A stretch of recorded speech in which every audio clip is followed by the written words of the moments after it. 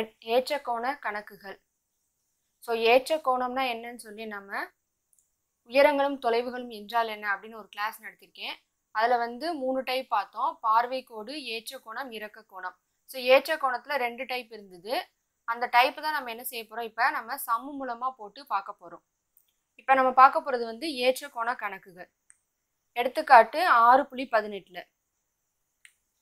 பின்வரும் முக்கோணங்களில் கோணம் பிஏசிஐ காண்க அப்படின்னு சொல்லி கொடுத்துருக்காங்க. ஸோ நடுவில் இருக்கிறது இப்போ என்ன சொல்லியிருக்காங்க நம்ம? கோணம் பிஏசி ஸோ நம்ம ஏற்கனவே நிறையா தடவை பார்த்துருக்கோம். நடுவில் இருக்கிறது எனக்கு என்னது நமக்கு கோணமாக இருக்கும். இப்போ கோணம் ஏ ஈக்குவல் டு என்னது? இந்த டீட்டா வந்து என்னதுன்னு சொல்லி நம்மளை கண்டுபிடிக்க சொல்லியிருக்காங்க. ஸோ டயக்ராம் கொடுத்துருக்காங்க. ஏன்னா பின்வரும் முக்கோணங்களில் நம்ம அந்த முக்கோணத்துலேருந்து தான் என்ன செய்ய போகிறோம் கோணம் ஏ என்னன்னு கண்டுபிடிக்க போகிறோம் ஸோ இது பார்த்தீங்கன்னா என்னது நமக்கு? செங்கோண முக்கோணம். கொடுத்துருக்க டயக்ராம் வந்து என்னது? செங்கோண முக்கோணம். இந்த செங்கோண முக்கோணத்தில் பாருங்கள் நமக்கு வந்து பிசி எவ்வளோ கொடுத்துருக்காங்க? நாலு சென்டிமீட்டர். அதாவது பிசிங்கிறது என்னது? இது வந்து நமக்கு என்னது? கர்ணம். ஸோ கர்ணத்துக்கு எதிராக இருக்கிறது என்னது? நமக்கு எதிர்பக்கம். எதிர்பக்கம். கோணத்துக்கு அடுத்து இருக்கிறது என்னது? நமக்கு அடுத்துள்ள பக்கம். அப்போ பிசி கொண்டு என்னது? நாலு சென்டிமீட்டர் அதாவது எதிர்பக்கம் கொடுத்துருக்காங்க.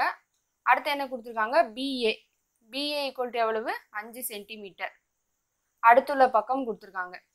நமக்கு என்ன கேட்டிருக்காங்க? டீட்டா கேட்டிருக்காங்க. டீட்டாங்கிறது என்னது? இந்த கோணம் ஏழு இருக்கிறது. இப்போ நம்ம ஸோ இது வந்து நமக்கு என்னது? எதிர்பக்கம் தெரியும் அடுத்துள்ள பக்கம் தெரியும். அப்போ இதை வந்து நம்ம எதில் யூஸ் பண்ணலாம் அப்படின்னு பார்த்தீங்கன்னா டேன் டீட்டாவில் யூஸ் பண்ணலாம். ஏன்னா டேன் டீட்டா தான் நமக்கு என்னது? எதிர்பக்கம் பை அடுத்துள்ள பக்கம். ஸோ இந்த மாதிரி ஷார்ட்டாக எழுதிக்கோங்க. ஏன்னா நீங்கள் வந்து இப்போ சம் பண்ணும்போது எக்ஸாமில் எதிர்பக்கம் அப்படின்னு சொல்லிட்டு நீங்கள் எழுதணுங்களே டைம் ஆயிரும். அதனால் ஏ டாட் பா அப்படின்னு சொல்லி போட்டுக்கோங்க. எதிர்பக்கம் அடுத்துள்ள பக்கம் அப்படின்னு சொல்லிட்டு.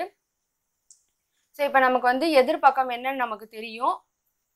டேன் இந்த டீட்டா தான் நம்ம என்னன்னு சொல்லி கண்டுபிடிக்க போகிறோம் எதிர்பக்கம் எவ்வளவு? நாலு பை அடுத்துள்ள பக்கம் என்னது? அஞ்சு. ஸோ நமக்கு இந்த டீட்டா தான் வேணும். அப்போ என்ன பண்ணுறோம் நம்ம? இந்த டீட்டா வாங்கிட்டு வச்சு டேன் வந்து அந்த சைடு கொண்டு போகிறோம் ஸோ டேன் அந்த சைடு கொண்டு போகும்போது நமக்கு என்னது? டேன் மைனஸ் ஒன்று அப்படின்னு வரும். எப்படின்னு பார்த்தீங்கன்னா இந்த டேன் வந்து நமக்கு என்னது? இன்ட்டில் இருக்குது அதாவது டேன் டீட்டா ஈக்குவல் டு என்னது? நாலு பை அஞ்சு. ஸோ டீட்டா ஈக்குவல் டு நாலு பை அஞ்சு. இந்த இன்ட்டில் இருக்க டேன் என்னவாகும்? நமக்கு பெருக்கல் வந்து என்னது? வகுத்துற மாறும். ஸோ அப்போ வந்து கீழே ஒன்று இருக்குன்னு அர்த்தம். இப்போ டேன் பை ஒன்று வந்து எப்படி போடணும்? நம்ம ஒன்று பை டேன் அப்படின்னு சொல்லி போடணும். ஸோ ஒன்று பை டேனை வந்து இதை ஒன் பை அப்படிங்கிறத நம்ம எடுக்கணும்னா என்ன செய்யணும்? டேன் பவர் மைனஸ் ஒன்று அதாவது இப்போ எக் ஒன்று பை எக்ஸ் பவர் ரெண்டு இருக்குன்னு வச்சுக்கோங்க. இந்த எக்ஸ் ஸ்கொயர்டை வந்து மேலே நம்ம திருப்பி மேலே கொண்டு போகும்போது எப்படி போடுவோம்? எக்ஸ் பவர் மைனஸ் ரெண்டு. ஸோ ப்ளஸ் ப்ளஸில் இருக்கிறது என்னது? நமக்கு மைனஸாக மாறும் மேலே கொண்டு போகும்போது. அதே மாதிரி தான் இந்த டேன் வந்து மேலே எதுவுமே இல்லைன்னா ஒன்று இருக்குன்னு அர்த்தம். இந்த ப்ளஸில் இருக்கிறது அங்கே போகும்போது என்னது? நமக்கு மைனஸாக மாறுது. அதுதான் வந்து நான் ஸ்ட்ரெயிட்டாக இங்கே எடுத்து எழுதியிருக்கேன். Theta equal to tan power minus ஒன்று இன்ட்டு நாலு பை அஞ்சு. இப்போ இந்த நாலு பை அஞ்சு நம்ம கேன்சல் பண்ணோம்னா ஜீரோ புள்ளி எட்டு. இப்போ டீட்டா ஈக்குவல் டு என்னது? டேன் பவர் மைனஸ் ஒன்று ஜீரோ புள்ளி எட்டு. ஸோ நமக்கு வந்து டீட்டாவோட மதிப்பு தெரியும். இப்போ பார்த்தீங்கன்னா நமக்கு டேன் முப்பது டிகிரி நாற்பத்தஞ்சு டிகிரி தொண்ணூறு டிகிரின்னு தான் சொல்லி நம்ம அட்டவணையில் படிச்சிருக்கோம். ஆனால் இங்கே பார்த்தீங்கன்னா இப்போ டேன் தொண்ணூறு டிகிரி அப்படின்னா என்னது? டேன் முப்பது டிகிரினா ஒன்று பை ரூட் மூணு அப்படின்னு நமக்கு மதிப்பு தெரியும். ஆனால் இப்போ ஜீரோ புள்ளி எட்டுக்கு நமக்கு இங்கே என்ன டீட்டா வரும் அப்படின்னா நம்ம லாக் புக்கில் பார்க்கணும். ஸோ இதுக்கு வந்து நம்ம லாக் புக்கு புக் வந்து யூஸ் பண்ணுவோம். அதில் நீங்கள் பார்த்தீங்கன்னா வரிசையாக கொடுத்துருப்பாங்க. இங்கே ஜீரோ புள்ளி ஒன்று ஜீரோ புள்ளி ரெண்டு இங்கே வந்து டிகிரி கொடுத்துருப்பாங்க. அப்போ நீங்கள் அந்த புக்கில் வந்து செக் பண்ணிங்கன்னா ஜீரோ புள்ளி எட்டுக்கு நமக்கு ஆன்சர் என்ன கிடைக்குது அப்படின்னு பார்த்தீங்கன்னா முப்பத்தெட்டு புள்ளி ஏழு டிகிரி இதான் வந்து என்னது? நமக்கு டீட்டா அதாவது கோணம் பிஏசி ஈக்குவல் டு எவ்வளவு? முப்பத்தெட்டு புள்ளி ஏழு டிகிரி. இதை வந்து நம்ம லாக் புக்கில் செக் பண்ணணும். இப்போ பார்த்தீங்கன்னா உங்களுக்கு நிறையா சம்மில் வந்து இப்போ நமக்கு முப்பது டிகிரி நாற்பத்தஞ்சு டிகிரிக்குனா மதிப்பு என்னன்னு தெரியும். சப்போஸ் இப்போ வந்து ஐம்பத்தஞ்சு டிகிரி அப்படின்னா என்னது? நமக்கு மதிப்பு தெரியாது. அதனால் உங்களுக்கு என்ன செஞ்சுருவாங்க? சம்மு கொடுக்கும்போதே ஐம்பத்தஞ்சு டிகிரியோட மதிப்பு என்ன அப்படிங்கிறத கொடுத்துருவாங்க. ஸோ இதில் கொடுக்காத நாம்னால நம்ம என்ன செய்கிறோம் ஜீரோ புள்ளி எட்டுக்கு நமக்கு என்ன டிகிரி அப்படின்னு பார்த்தீங்கன்னா முப்பத்தெட்டு புள்ளி ஏழு டிகிரி அடுத்தது அதே இதில் ஏன்னா பின்வரும் முக்கோணங்களின் சொல்லி கே- நமக்கு கொடுத்துருந்தாங்க. அப்போ இன்னொரு முக்கோணம் கொடுத்துருக்காங்க. ஸோ இதுவும் என்னது பார்த்தீங்கன்னா நமக்கு செங்கோண முக்கோணம் தான். இப்போ இதில் நமக்கு என்னது? பிசி கொடுத்துருக்காங்க. எவ்வளவு? எட்டு சென்டிமீட்டர் ஸோ இந்த பிசிங்கிறது நமக்கு என்னது? எதிர்பக்கம். அடுத்து என்னது? பிஏ ஈக்குவல் டு எவ்வளவு? மூணு சென்டிமீட்டர் ஸோ பிஏங்கிறது நமக்கு என்னது? அடுத்துள்ள பக்கம். ஏசிங்கிறது என்னது? நமக்கு கர்ணம். ஸோ நமக்கு எதிர்பக்கம் அடுத்துள்ள பக்கம் என்னன்னு தெரியும். அப்போ டேன் டீட்டா ஈக்குவல் என்னது? எதிர்பக்கம் பை அடுத்துள்ள பக்கம். இப்போ சப்போஸ் உங்களுக்கு கர்ணம் தான் என்னன்னு கண்டுபிடிக்கணும் அப்படின்னா நம்ம என்ன செய்யலாம்? சைன் டீட்டா ஈக்குவல் என்னது?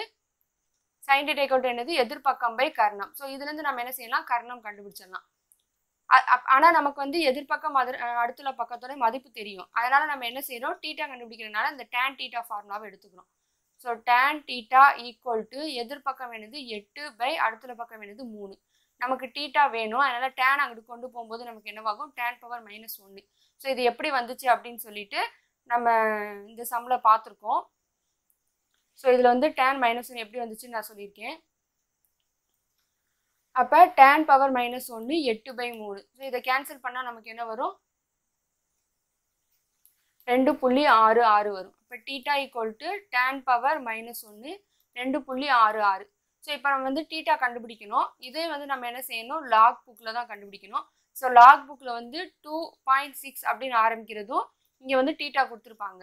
ஸோ அதை நம்ம புக்கில் செக் பண்ணிங்கன்னா தெரியும். டீட்டா ஈக்குவல் டு என்ன அப்படின்னு பார்த்தீங்கன்னா அறுபத்தி ஒம்பது புள்ளி நாலு டிகிரி ஸோ இப்போ பார்த்தீங்கன்னா இங்கே வந்து அறுபத்தி ஒம்பது இருக்கும். இங்கே டூ பாயிண்ட் சிக்ஸ்னு ஸ்டார்ட் ஆகும். மேலே வந்து ஒன்று டிகிரி ரெண்டு டிகிரி மூணு டிகிரி நாலு டிகிரி கொடுத்துருப்பாங்க.